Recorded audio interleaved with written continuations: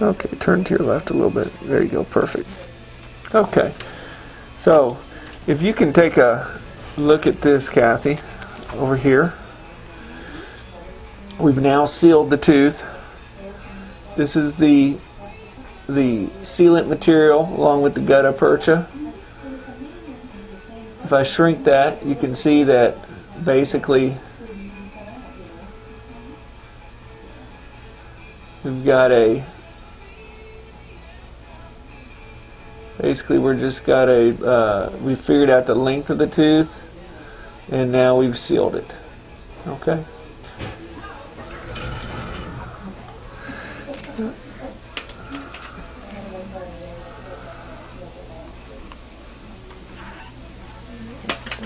I won't need it. Mm-mm. Let me get a small condenser.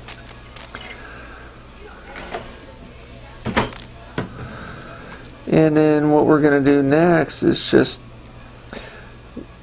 we're going to condense this a little bit more and then we're going to put a permanent filling in there